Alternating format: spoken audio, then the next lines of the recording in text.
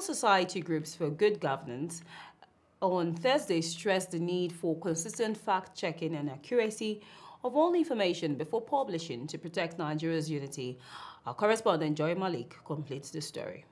Fake news is false or misleading information presented as news. It often has a way of damaging the reputation of a person or entity. We are here reporting at Sheraton Hotel, Abuja, here nation, city capital, at the Civil Society Roundtable on fake news. I am Joy Malik. Fake news is a type of yellow journalism or propaganda deliberately misinforming that spread via traditional print and broadcast news media and recently online social media is the crux of this meeting. I say, I want to welcome you. I want you to believe in this country. I want you to understand that fake news is not never going to help us.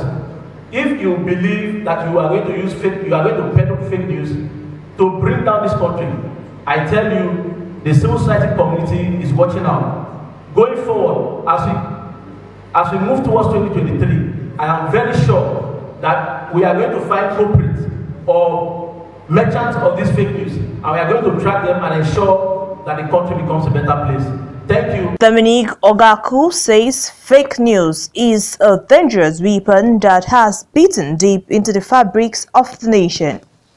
Here, he is urging Nigerians to get involved, else fake news, he says, will destroy the country. The two words, fake and news. News is um, happenings, right? Events as they unfold as they are told. Fake, something that's not real, non-existent, distorted. So fake news is distorted news, non-existent news, news that is false. But then beyond just being false or non-existent, fake news also comes with some intent, negative intent. As the president of the National Youth Council of Nigeria, we have seen that the Nigerian youth have been swayed, taken in by fake news.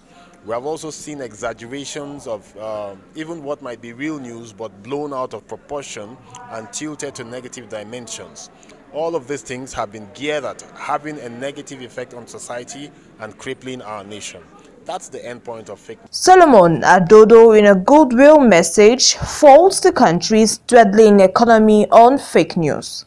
Yes, to tackle fake news is to allow everyone to come to the space under training, under guidance, under and, uh, a good tutorial so as to make every space interesting, not to mislead or disinform people because we need knowledge and we need understanding of that knowledge and we need to acquire the knowledge to be able to transmit information around the globe. Afolabi strongly believes with training and guidance, Nigerian media can get it right.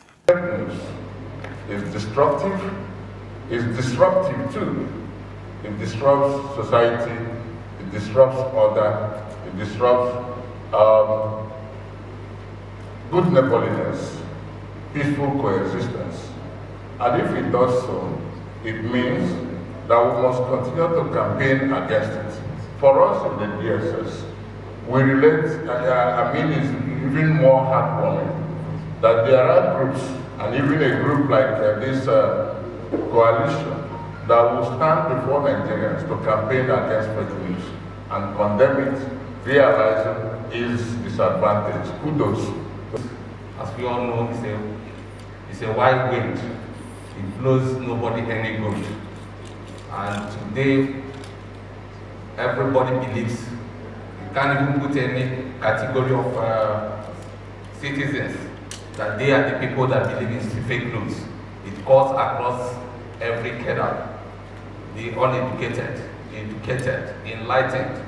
People spread it. You know, any platform you, you are part of. The next thing you see people posting information that they don't even verify. So it's a serious issue that uh,